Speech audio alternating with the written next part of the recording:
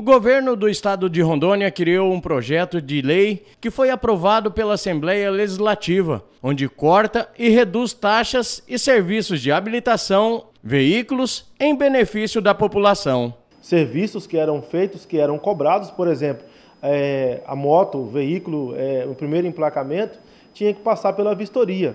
Agora não precisa mais. Se emplacado com até 30 dias, não precisa nem passar pela vistoria mais. Então já é, é uma taxa, já é um dinheiro que continua no bolso do, do consumidor, do, do, do, usuário. Né? Então isso aí para nós é muito importante.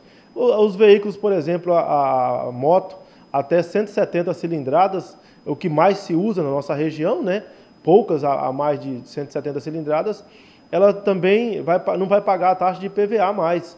Agora só o licenciamento de 210,58. Então, isso para a gente é, é, um, é, uma, é um avanço grandioso, dentre outras taxas que foram extintas ou que foram é, diminuídas, baixado o valor é, aqui para a população de Rondônia. Uma das taxas que teve desconto significativo são as taxas dos serviços de CNH. A renovação da CNH para idoso, por exemplo, era R$ 173,64, agora baixou para R$ 76,12. Então baixou mais da metade. Aí os nossos amigos aí, é, já a partir dos 60 anos de idade, já tem essa, é, esse benefício. E a renovação da CNH, a taxa do Detran era R$ 173,64 para as demais pessoas.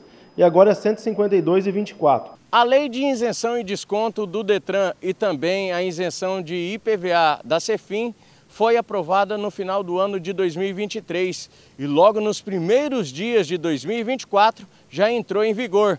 Assim, os condutores podem procurar a Ciretran para realizar os seus serviços, tanto de renovação de CNH, em relação ao seu veículo, entre outros serviços. Com imagens de Gustavo Henrique, Anderson Gonçalves para o jornalismo da SIC TV.